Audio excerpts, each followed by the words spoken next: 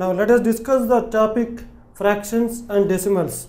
In the earlier class we have discussed the fractions and decimals definition and the types of fractions like mixed fraction, proper fraction, improper fraction and addition and subtraction of fractions and addition of addition and subtraction of decimals. So we have learned all these concepts. Now in this class we will also learn the multiplication and the division of fractions as well as decimals. Now first let us revise all the concepts once again. So what is a proper fraction?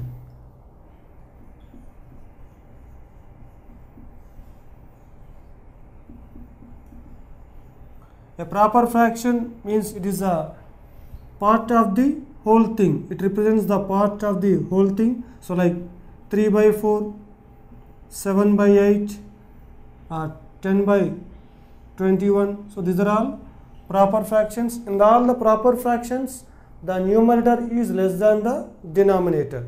Now when you write the improper fraction,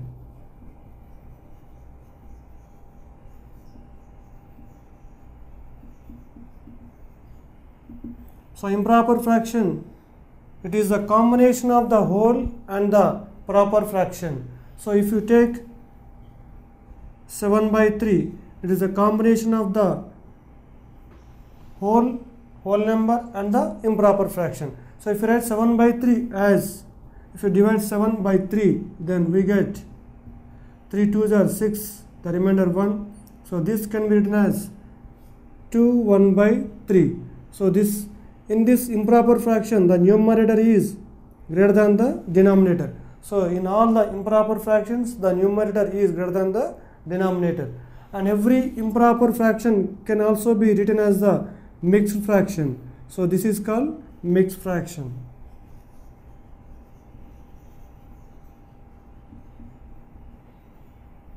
now you can take the other examples as 8 by 5 12 by 7. So in all the improper fraction, the numerator is greater than the denominator. Now, like fractions.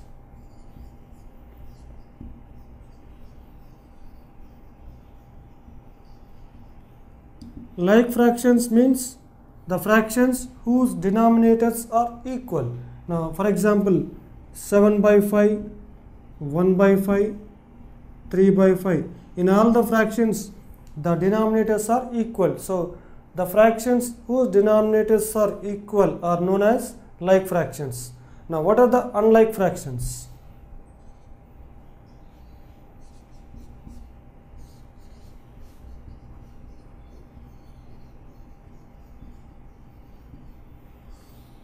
Unlike fractions means the fractions whose denominators are not equal, unequal.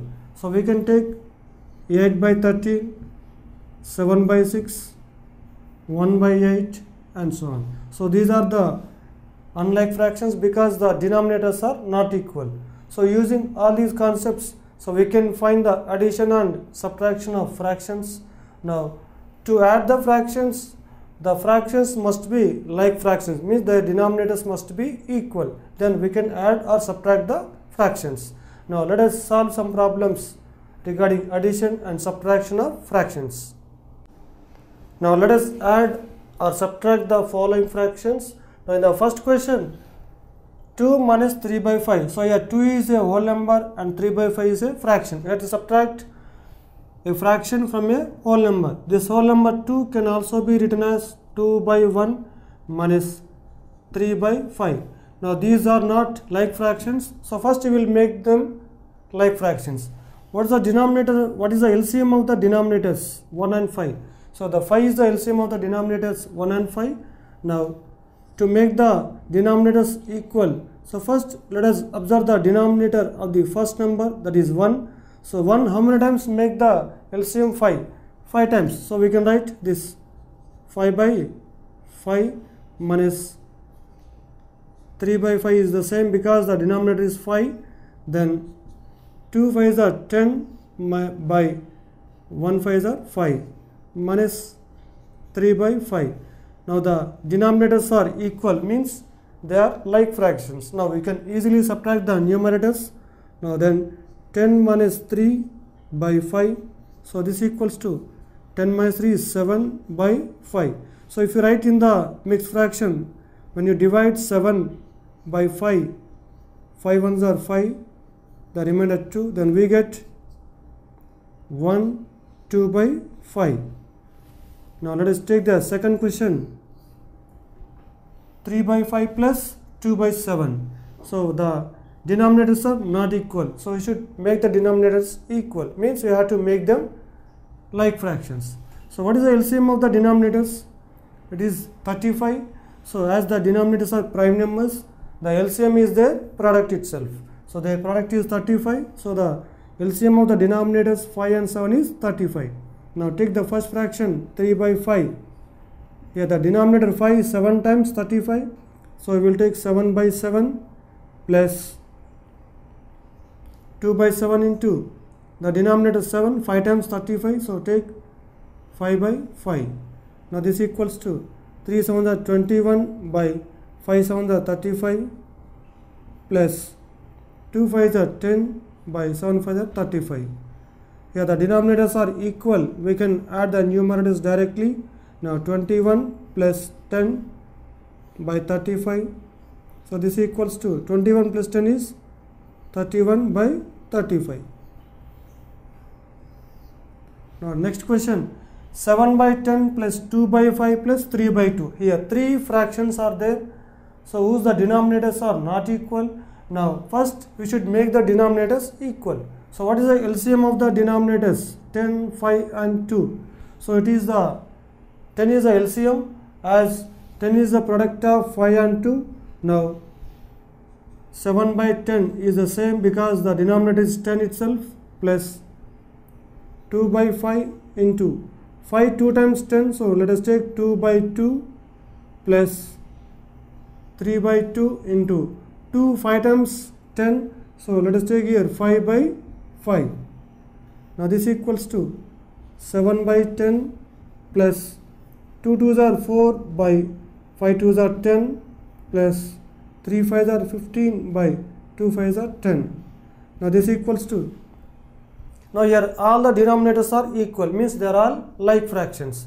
So when the like fractions are there then we can add the numerators directly then 7 plus 4 plus 15 by 10 now this equals to 7 plus 4 11 11 plus 15 26 divided by 10 so when you write the simplest form we get two 13s and two 5s are. We get 13 by 5 so when you divide 13 by 5 we get 5 2s are 10 and 3 so this equals to 2 3 by 5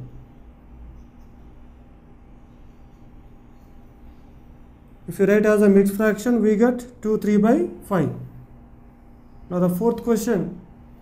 It is the difference of the two mixed fractions. Means you have to subtract one mixed fraction from the other mixed fraction. So how to subtract the or how to add the mixed fractions? First the mixed fractions should be converted into improper fractions.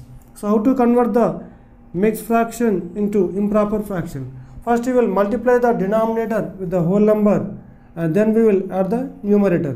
So must first you multiply 2 8s are 16 plus 1 17 by 2 minus here. 8 3s are 24 plus 5 29 divided by 8 so to convert the mixed fraction into improper fraction we multiply the denominator with whole number then numerator is added now let us find the LCM of the denominators 2 and 8 so what is the LCM of 2 and 8 8 itself because here 8 is a multiple of 2 so then 8 is the LCM of 2 and 8 now the LCM is 8 so then 17 by 2 and here 2 is 4 times 8 so we will take 4 by 4 minus 29 by 8 same. Now 17 4s are 68 by 2 4s are 8 minus 29 by 8 so this equals to 68 minus 29 by 8. So when the denominators are equal, we can directly subtract the numerators. Now 68 minus 29, so 18 minus 9 is 9, 5 minus 2 is 3, so 39 by 8. Now when you divide 39 by 8, 8 fours are 32, the remainder is 7, then we write 4 7 by 8.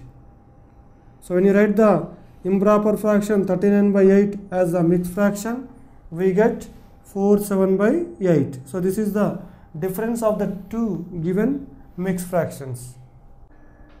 Now let us see the next question.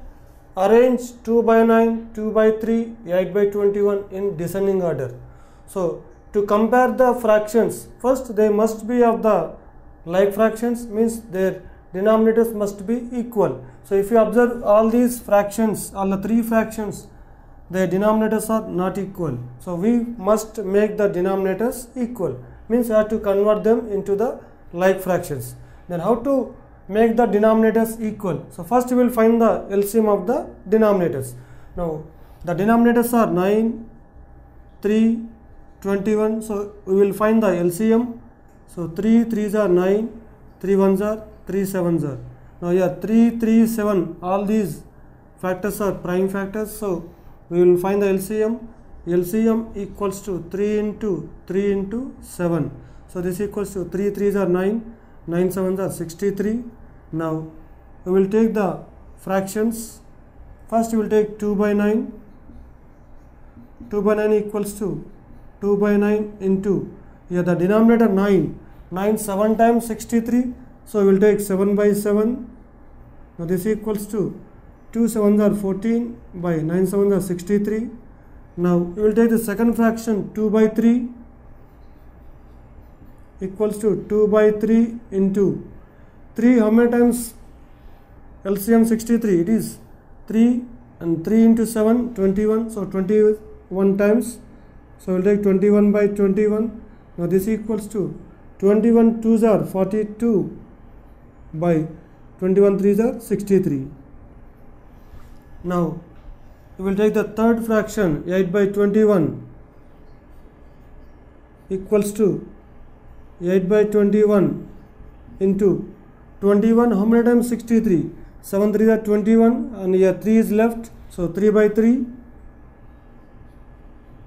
then 8 3s are 24 by 21 3s are 63 now we will write the descending order.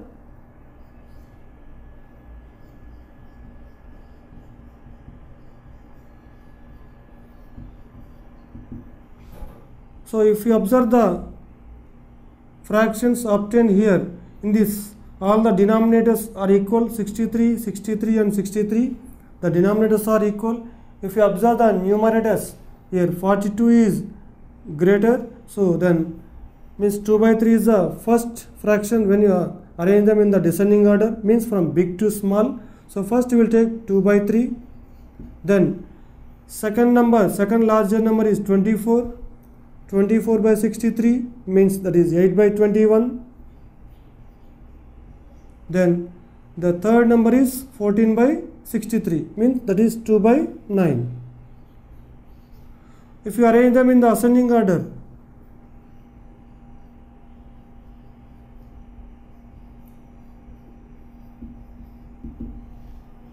now first you will take 2 by 9 in the reverse order then you will take 8 by 21 then you will take 2 by 3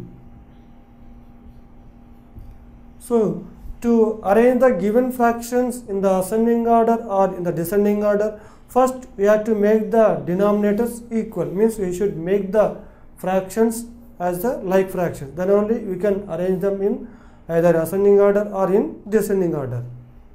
If you like this video, please give a thumbs up. Please subscribe to our channel to get more videos on CBSE syllabus.